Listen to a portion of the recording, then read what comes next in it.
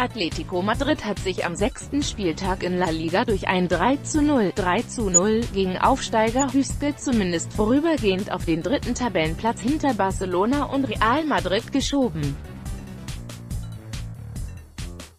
Im Heimspiel machten die Colchoneros bereits in der ersten Halbzeit mit ihren drei Toren durch Antoine Griezmann, Thomas Partey und Koke alles klar.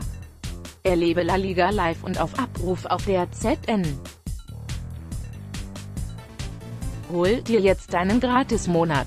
Spitzenreiter FC Barcelona muss am Mittwoch bei Leganés antreten, während auf Real Madrid das schwere Auswärtsspiel beim FC Sevilla wartet.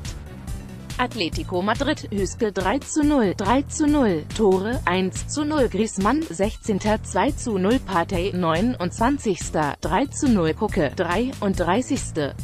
Espanyol Eibar 1 zu 0, 0 zu 0, Tor 1 zu 0 Hermoso 68. Real Sociedad Rayo Vallecano 2 zu 2, 1 zu 2, Tore 1 zu 0 Bautista 5. 1 zu 1 Adivincula 31.